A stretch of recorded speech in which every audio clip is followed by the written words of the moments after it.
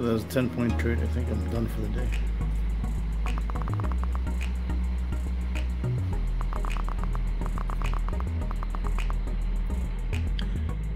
Okay, this is my overnight trades. Um, 17 so it's down 732.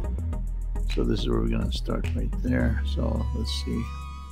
15 and there's the 500 so i'm down 378